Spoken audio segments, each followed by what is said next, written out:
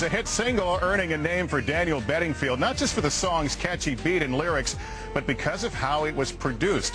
When Bedingfield couldn't find a major record label willing to sign him, he decided to produce the album on his own, at home, in his underwear, he admits. Too much information. Using software available at the local electronics store. And Ralph Bond handles consumer education for Intel and joins us to talk about how software is revolutionizing music making. Ralph, thanks for being here. Well, the thing that's so amazing is how easy it is. The software that's available today, if you know how to run a mouse and you're willing to learn, you can create music even if you don't play a musical instrument. You don't have to be a musician. That's the That's key right. with a lot of these. You can actually lay down different tracks, which we'll look at in a moment. I know your son, Jeff, has a band with some of his classmates. They call themselves Open Door Policy. Right. and they did a demo for us showing what the software can do. Let's take a look.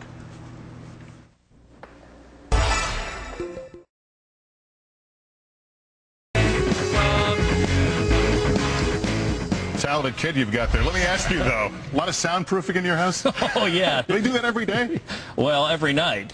Now, that's a very sophisticated program. Most of us, even with a little musical talent, aren't going to buy that kind of equipment, are we? Oh, that's right. Jeff is very popular with all the high school kids because he's got about $5,000 worth of gear, including a gateway desktop with a very powerful Pentium 4 processor, a 500 gigabyte hard drive, an Aardvark Q10 microphone box that can handle eight microphones at Yeah, one but what, time. what if you just want to dabble in music or expose the kids to music making? What do you have out Absolutely. There, you can begin with something very, very modest. For example, for kids even, there's a program here called Super Duper Music Looper. It's very modest, only $30. I can take a mouse and simply paint in music loops on the fly, just add them. I could even pick up a microphone if I wanted to and sing or play a musical instrument against these tracks, and it's just there? So absolutely it creates a song with no musical talent whatsoever. Yeah, that's for me.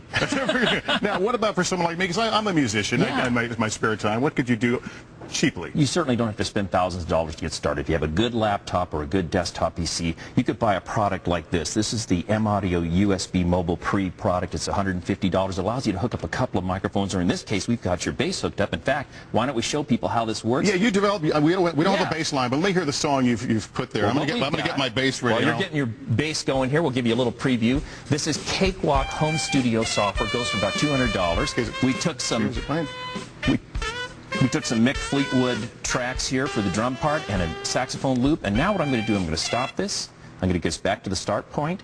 I'm going to arm this new track. That means get it ready for recording. I'm going to press record, and once I do, you can start Okay, I don't know if the audience can hear, but it's going out, I'm told. Here we So go. Here we go.